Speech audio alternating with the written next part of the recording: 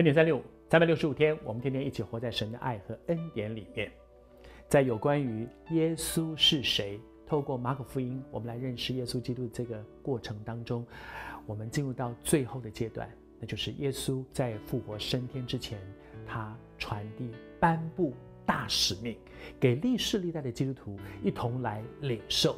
那么大使命是什么？第一，传福音，让人信耶稣。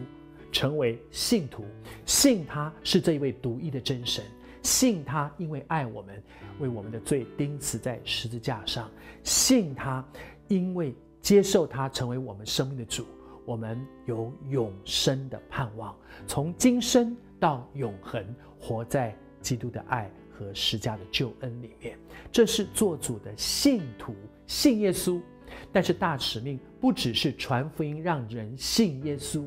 大使命还要继续把这些信耶稣、好像入学了、拿到学籍了、办完注册了的人，有时候讲说受洗只是一个开学典礼，进到这个神的国度里面，然后开始学习怎么样学像耶稣基督，活出圣经真理，做主的门徒，做主的学生。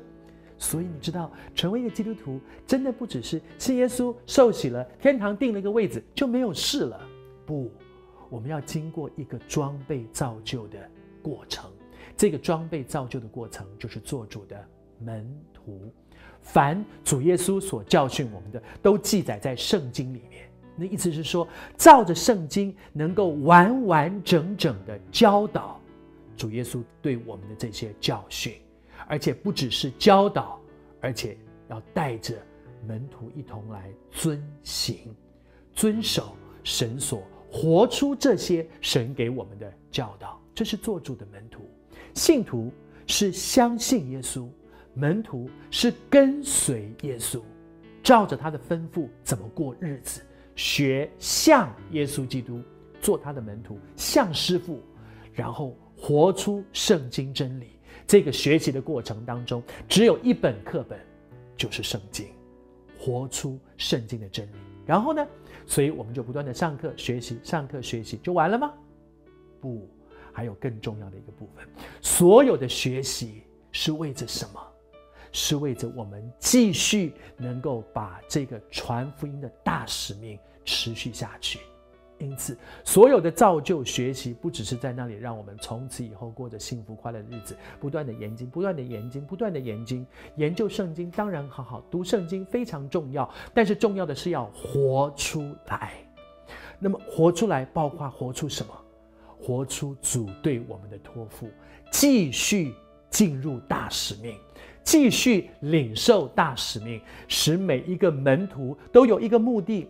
这些的学习是为着让我们可以继续承接大使命，成为一个传福音的人。好像圣经里面说，这些门徒要干什么？做主的门徒是要干什么？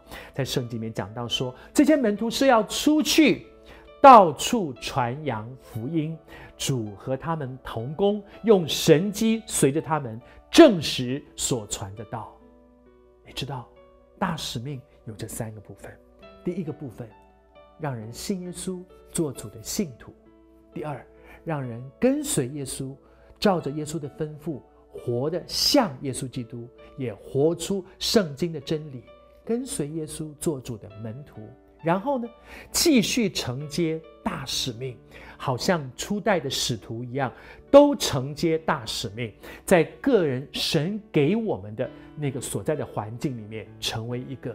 宣教士领受一个使徒性的恩高，在所在的地方都成为宣教士，在你的家族里成为宣教士，在你的职场上成为宣教士，在我们所住的那个社区里成为宣教士，继续成为一个传福音的人，继续成为一个领受大使命、完成大使命的人。